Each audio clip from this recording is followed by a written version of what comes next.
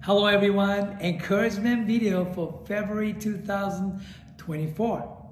Purpose, part two. Since I shared about this topic last month, I've been thinking more about it and asking people around me. Many people are searching for it. What on earth am I here for? What is the meaning of life? Why do I feel empty? Why do we need to have a purpose? I was impressed with some of the sous chefs' answers. They told me that purpose gives them a sense of direction, it shapes goal, and guides life decisions. What is your life purpose? I believe that each one of us has different and unique purposes and dreams. My mom told me yesterday that without a purpose, I have no reason to live. My dear friend Faraz said, to love, not judge people around me, and to provide for my family and do good on earth to serve God on this short earthly life in hopes of a better in eternity through Him. Very deep.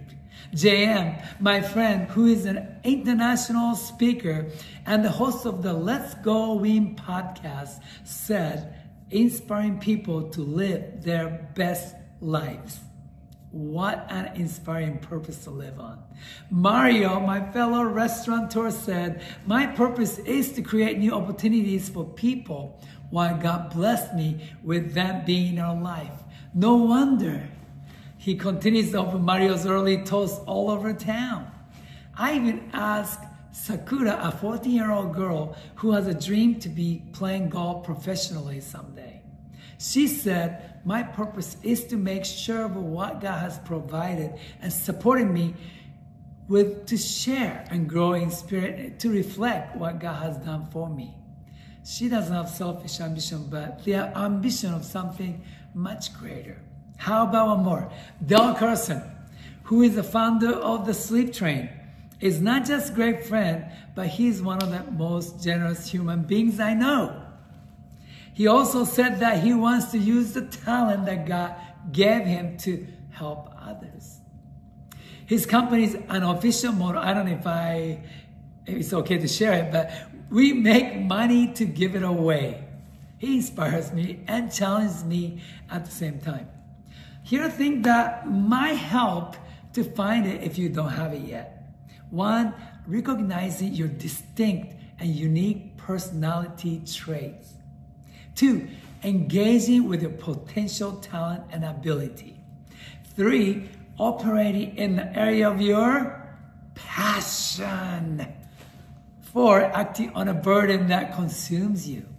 Once I comprehend that I have limited time on earth, it automatically caused me to get my priorities right. I have to learn to focus on the majors instead of the minors. Being purposefully purposeful involves living life with awareness of what you will leave behind, your legacy. The greatest legacy is, isn't net worth or real estate or trophies, but the impact we made. If you're not living out your unique purpose, it does not matter what else you achieve, accomplish, or establish during the time and space we call life. You have been handpicked, appointed, and com- uh, commissioned by the Maker Himself to be fruitful. You have been chosen to live your purpose. Come on, let's do it. Purpose.